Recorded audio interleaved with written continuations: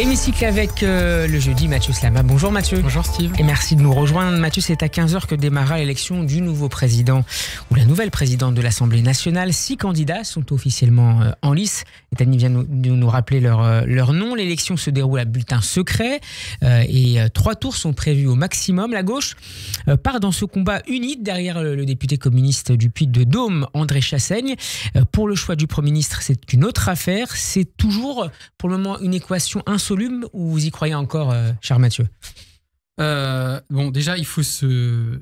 Quand on est de gauche, en tout cas, il faut se réjouir qu'il euh, y ait eu un accord aussi rapide, simple, autour d'une personnalité pour potentiellement présider l'Assemblée nationale, donc le communiste André Chassaigne, qui a fait l'unanimité.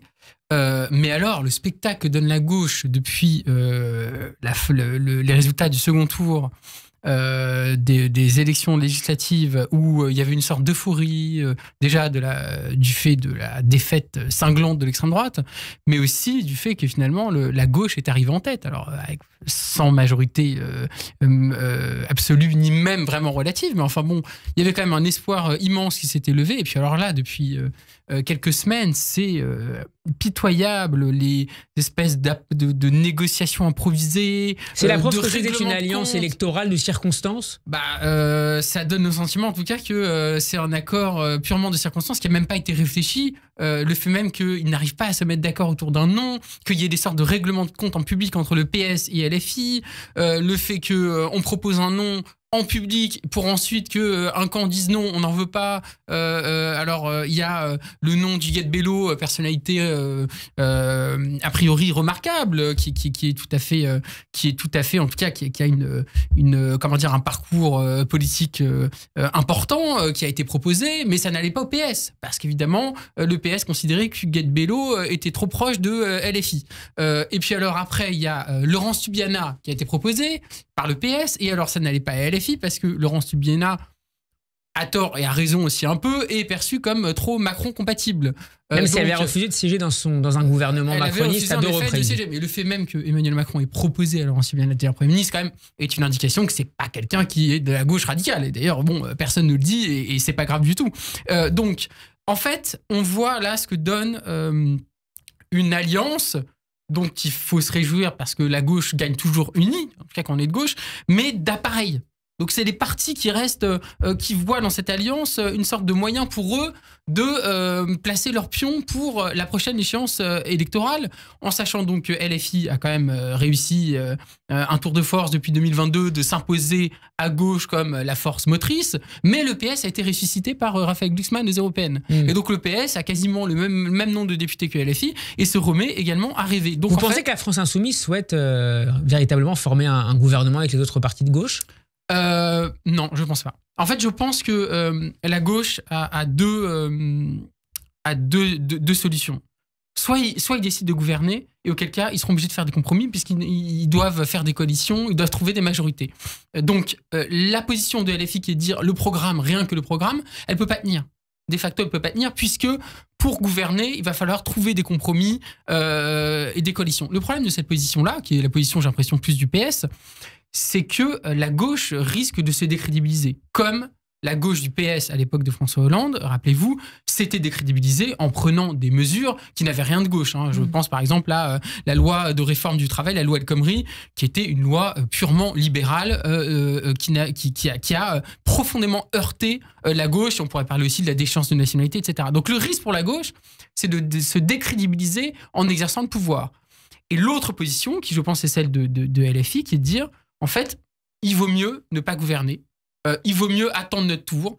Euh, attendre que le, finalement la coalition qui gouvernera se décrédibilisera parce mhm. qu'elle n'arrivera pas non plus à gouverner dans l'état des forces actuelles. Pour apparaître ensuite comme la seule alternative. Pour ensuite prendre euh, le contrôle du pays avec une vraie majorité et avec la présidentielle euh, en, ligne de mire.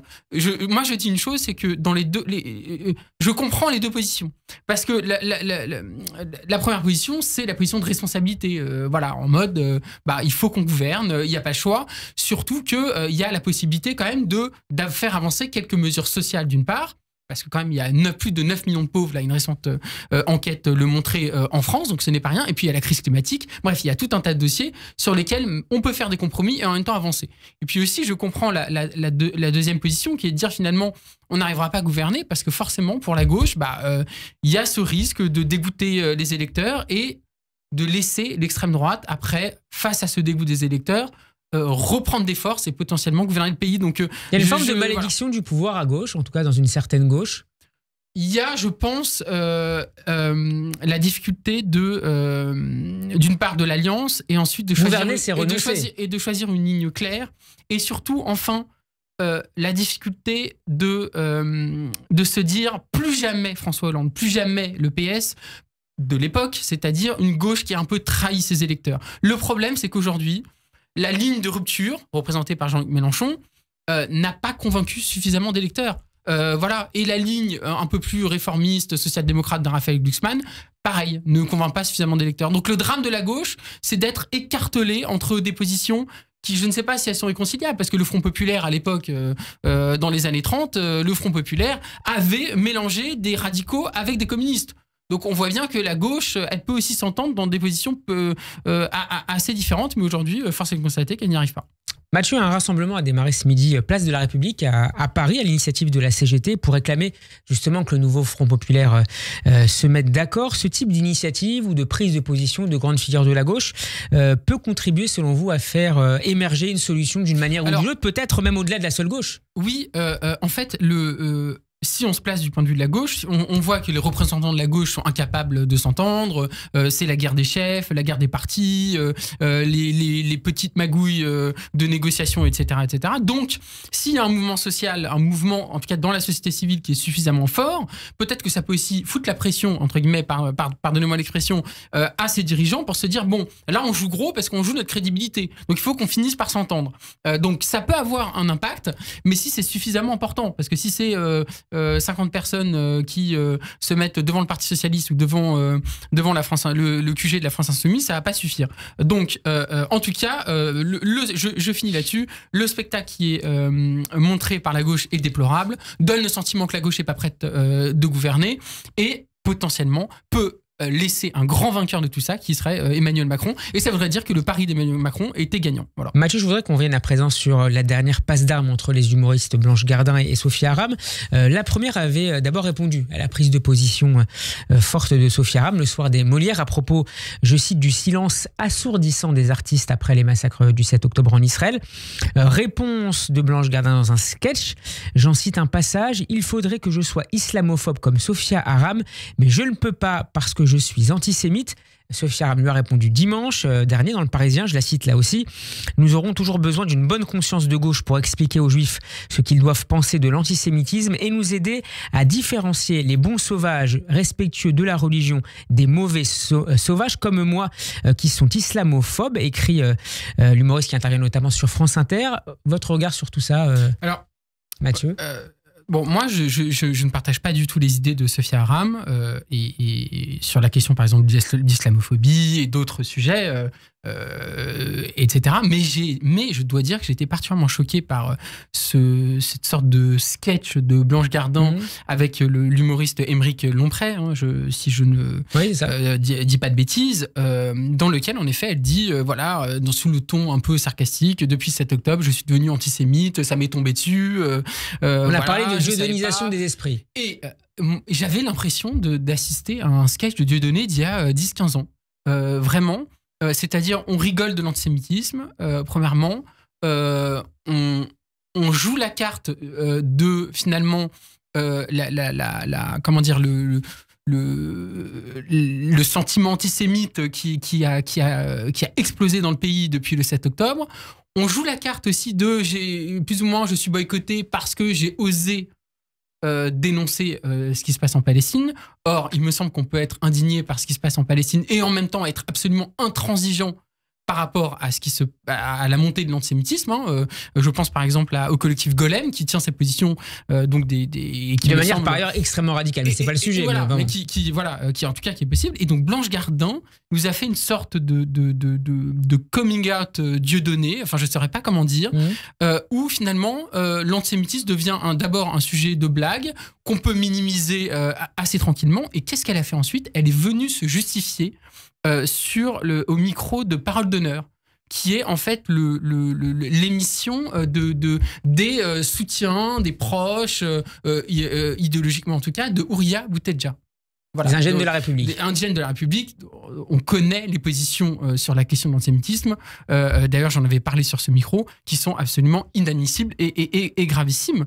Et alors là, je me suis dit, quand même, de venir se justifier chez des gens euh, euh, euh, comme les soutiens d'Ouria Boutedja, ça me semble quand même un aveu de, de, la dérive idéologique de Blanche Gardin. Et d'ailleurs, c'est très intéressant parce qu'il y a des gens à gauche qui ont défendu Blanche Gardin après son sketch. Mmh qui ont, semble-t-il, complètement oublié les positions de Blanche Gardin d'il y a quelques années, euh, anti-woke, euh, euh des positions assez réactionnaires, euh, en soutien à Michel Houellebecq aussi. Elle a soutenu aussi un auteur de BD dont j'ai oublié le nom, qui a dessiné des dessins quasiment pédopornographiques, enfin des, vraiment absolument indéfendables. Donc c'est quelqu'un, Blanche Gardin, qui plaisait en fait, en quelque sorte, qui tenait des positions très radicales, euh, très critiques de la gauche, etc. Et aujourd'hui, parce qu'elle tient un discours euh, très très ambigu sur l'antisémitisme euh, et sur les juifs, est adoubée par une, partie, alors j'espère une petite partie, mais une, partie de la gauche. Et je, je le dis, ça montre encore une fois l'ambiguïté qu'il y a chez une partie de la gauche sur la question de l'antisémitisme, le fait que. C'est plus que de l'ambiguïté, la gauche. Voilà, moi je dis ambiguïté, mais en effet, on peut considérer que c'est plus que de l'ambiguïté. Et le fait qu'il y a une partie de la gauche qui considère en fait que l'antisémitisme n'est pas un problème. Et d'ailleurs, on l'a vu avec la sortie de cette vidéo de la, de, de la LICRA, une, une, belle vidéo sur euh, l'antisémitisme. Dimanche, euh, dimanche. Et, voilà. D'où est venu, d'où sont venues les critiques sur cette vidéo? Euh, avec parfois des critiques qui disant mais pourquoi on ne parle pas non plus de l'islamophobie? Enfin les, critiques encore une fois on en fait trop sur l'antisémitisme finalement. Victimisation bah, des juifs. Voilà exactement. Euh, des, voilà euh, et bah c'est venu ces critiques sont venues aussi d'une partie de la gauche. Et ça nous dit quelque chose sur le malaise qui s'est installé, notamment depuis le, mais qui est révélateur, hein, mais depuis le 7 octobre, sur l'incapacité euh, de la gauche, d'une partie de la gauche, de reconnaître l'antisémitisme comme un, problème fondamental, central en France, un problème systémique au même titre que les autres racismes. Voilà. Merci beaucoup Mathieu Slama d'avoir été avec nous. On peut retrouver euh, cet échange sur radioj.fr en vidéo sur YouTube et sur nos réseaux sociaux. Très bon après-midi à la semaine prochaine. À la semaine prochaine.